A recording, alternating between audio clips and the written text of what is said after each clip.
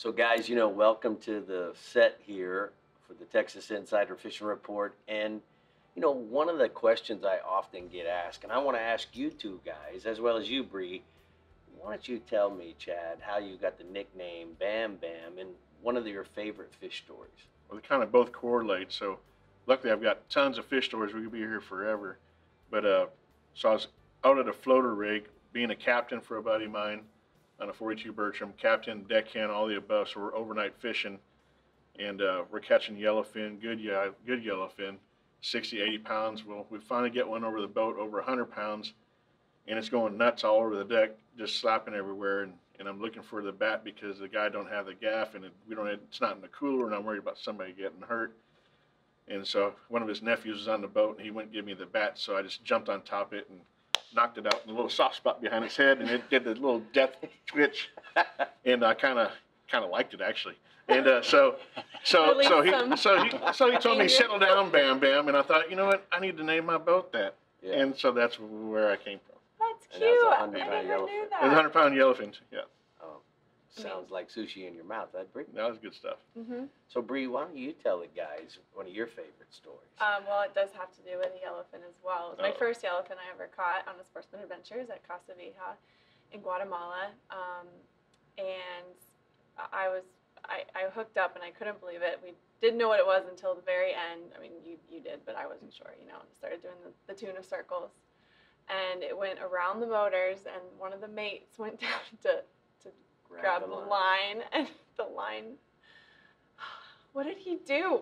He didn't. I was so upset. I lost my first yellowfin tuna. and It was Ah. big, right? It was giant, like a 150. Oof. You know, big sickles on it like Ugh. this. Oh, He I didn't put so on the gloves, you know, and so he's trying to leader this fish, and so he pushes out, and Brie steps back and doesn't tell Brie that, you know, she she's stepping back or to lean out over the boat, and the fish did the circle like this and got hung up in the right side of the Yamaha I hope, mo- motoring. I hope my daughter doesn't watch Oh. this because she did the same thing during a tournament. No, no. Oh, And yeah, and it was a winning fish. So it, yeah, I, I feel the Oh, pain. Man, Alright. I was so sad. But then we caught another one, yeah, and it was just as exciting. Oh, there you Yeah. I think I cried a little bit. seventy pounder. Yeah, know.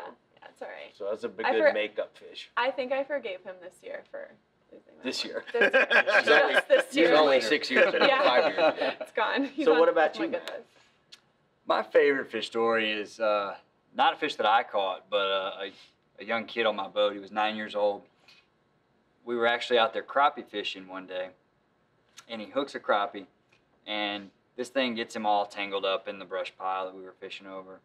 And he asked me if I could come help him catch the fish, maybe if we could get it out of the brush somehow. So, well, just, you know, kind of lower your rod, don't put so much pressure on it, you know, see if he'll kind of swim his way out of there. Well, about the time that I kind of helped him out to do that, this huge bass grabs a hold of this crappie and tries to eat the crappie.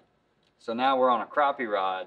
I've got a nine-year-old boy holding a crappie rod with eight-pound test on it, and we got this giant bass running out here, flopping everywhere, jumping around, and we managed to get this fish in the boat.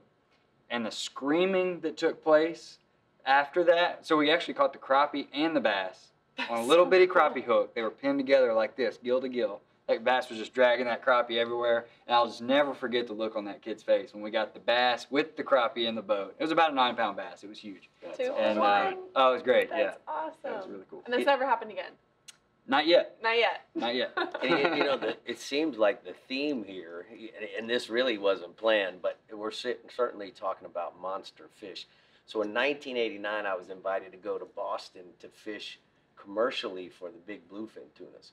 And I went with a friend of mine, Ralph Delf. And so we get there, and the fishing is really on fire. We're fishing in a bay between Gloucester and uh, Cape Cod, 85 feet of water, and we hook this giant bluefin. And the thing goes around five or six anchors, anchor lines from other guys that were there chumming. And then what they would do is they'd chum these bluefins and they'd get behind the boat and then they'd feed them a chunk and off to the races you go. So Ralph Delf grabs the rod as the fish eats and he starts backing off on the drag, hands me the rod.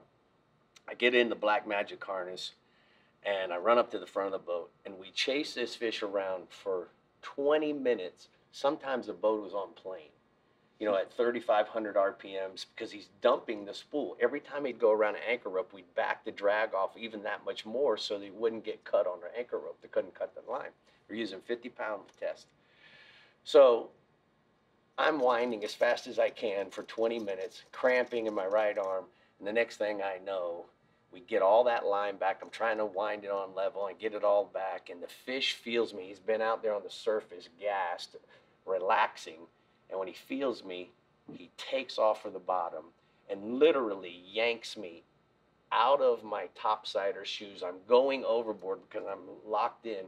And his son, Robbie, grabs me by the belt as I'm going over. And I hear Ralph screaming Oh at me at the top of his lungs, back off on the drag, you dumb SOB.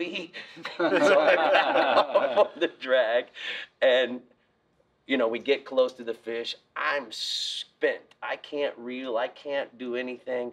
And you got a $30,000 fish on the line. So Ralph says, you want me to take over, Tiger? Because he's starting to do those those spins, you know, like Brie was talking about. And all I can worry, worry about is allowing this 50 pound mono to touch the. So I said, yeah, Ralph, get in here. So Ralph gets in there. He goes, son throws the harpoon, darts the fish, and we catch the fish. And I'm thinking about if all I know, if I had to do do two, and I'd have had it all by myself. Well, anyway, 856 pound bluefin. Oh, big one. wow. It was nuts. But anyway, it's the theme here is certainly about our big fish, and you know, I appreciate you guys coming into the studio. And guys, if you want to hear more fish stories, you want to hear a lot of great tips, all you got to do is subscribe and make sure you keep tuning into the Captain Rick Murphy YouTube channel.